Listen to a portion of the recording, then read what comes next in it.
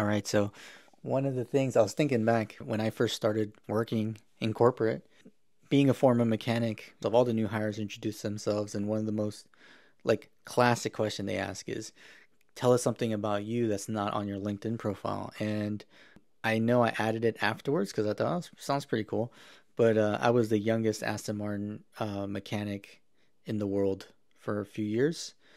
This goes for Lamborghini too. I wasn't factory trained, but I have worked on Lamborghinis because this shop was a factory authorized shop for them. So, you know, you get exposure to both. And yeah, I was the youngest dude working on Aston Martins day in and day out. Um, sh- shit was crazy. Like, how does that work? And eh, just be the youngest guy at the shop. and then when they send you out to the factory to train, so they for Aston Martin's, um, I went to training in Chicago, and then they can they can send you to England as well, like the HQ uh, factory in Gaydon. And word got around. Everyone found out that I was really young. It's not something you talk about because think about it. If you spent 300k on a car, let's, talk about Aston Martin. You'd bring it. If something's messed up, you're already pissed off, right? And then you bring it to the dealership. You want some crusty old. Um, British dude working on your whip. You know what I mean? And then um, you see this bright eyed Asian dude. Oh my God. A lot of them, I wouldn't say a lot of them, but a good portion of them, man, they would see me and be like, there's no way this kid's working on my car. Like, I don't blame them. You know, you just take it on the chin and just let them know it's all good. They're like, it's fine. He's factory trained. He's all good. All right, back to the training. And yeah, so the instructors, the engineers, the administration, they all, yeah, they confirmed that they never met anyone as young as me um, as a mechanic, and said definitely in the U.S., most likely in the world, and but there was no plaque. You know what I mean? There's no plaque for that. They did. They were not. They were actually not really stoked about hearing that because um, obviously they're going to question me. They're going to question the dealership for even sending me. Like, what is going on here? Keep this in mind. Most of the most mechanics and even the there are young ones, but they have like eight years, ten years, fifteen years, twenty years experience.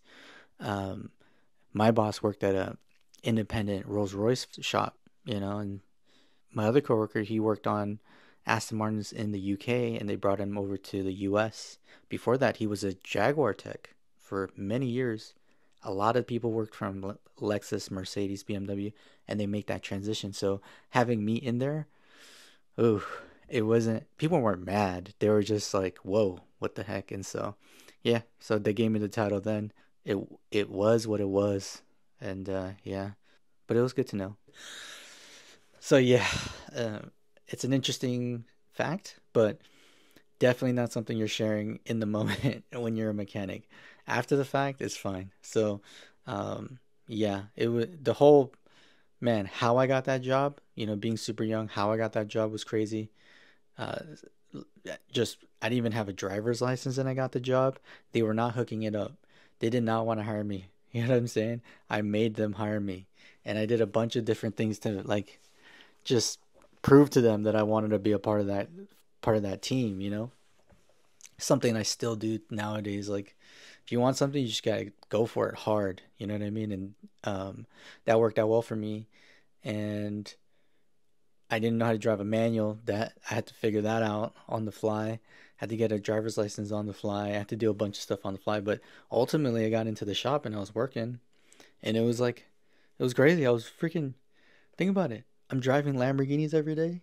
If Ferraris come in once in a while, like Bentleys, Rolls Royces, Aston Martins. It was awesome. Anyway, so yeah, so that's the story. I'll I'll try to make more of these videos, share more of these stories. Um, and yeah, so that's it. Subaru's done.